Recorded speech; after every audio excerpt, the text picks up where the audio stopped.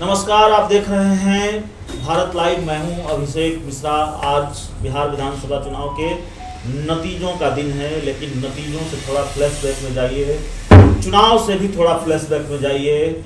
मार्च का महीना था। मार्च 2019 में अखबार में एक विज्ञापन छपता है और बिहार के राजनीतिक गलियारों में तहलका मच जाता है। तभी बिहार के लोगों ने प्लूलर्स पार्टी का नाम पहली बार सुना। तभी बिहार के लोगों ने पुष्पम प्रिया चौधरी का नाम पहली बार सुना, जिन्होंने ये दावा किया कि वो बिहार की मुख्यमंत्री बनेंगी। विधानसभा चुनाव आया तो लगातार सक्रिय रही, बिहार के इलाकों में घूमती रही और बिहार का विधानसभा चुनाव भी लड़ा।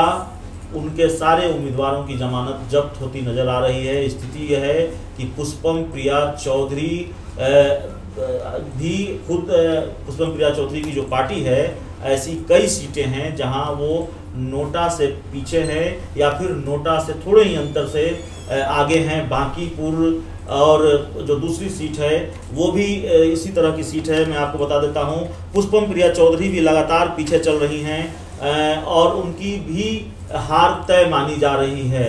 तो पुष्पम प्रिया चौधरी को जो उम्मीद रही होगी वो उम्मीद उनकी टूटती हुई नज़र आ रही है। जनता ने उनको स्वीकार नहीं किया है। तो भारत लाइव लगातार सुबह से आपको हर अपडेट बता रहा है मतगणना से जुड़ी हर ब्रेकिंग बता रहा है।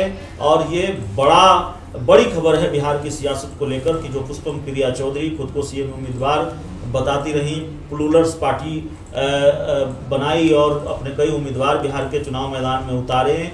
उनमें से कोई उम्मीदवार जीतता हुआ नज़र नहीं आ रहा। खुद उनकी भी हार तय मानी जा रही है। खूब चर्चा में रही बिहार की सियासत में। पुष्पम प्रिया चौधरी, लेकिन सिर्फ़ चर्चा में ही रही सीटें आती हुई नज़र नहीं आ रही है। तो इस खबर में इतना ही। बहुत बहुत धन्यवाद।